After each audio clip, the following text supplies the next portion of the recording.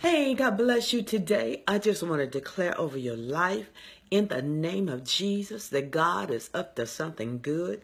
No matter what it looks like, no matter what it feels like, no matter what it sounds like, He is up to something good.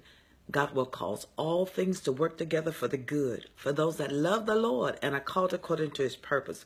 So you be encouraged today and remember, God is up to something good. Have a great day.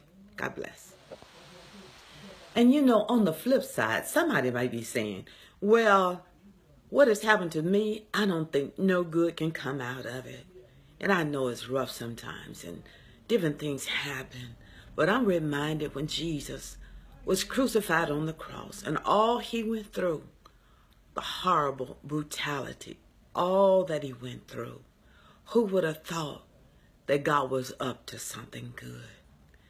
Only God can make a good out of it.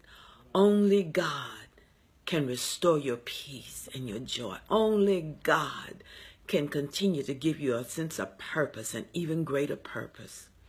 I know it was rough, but God can. So be reminded today, God is up to something good. Stay encouraged. God bless.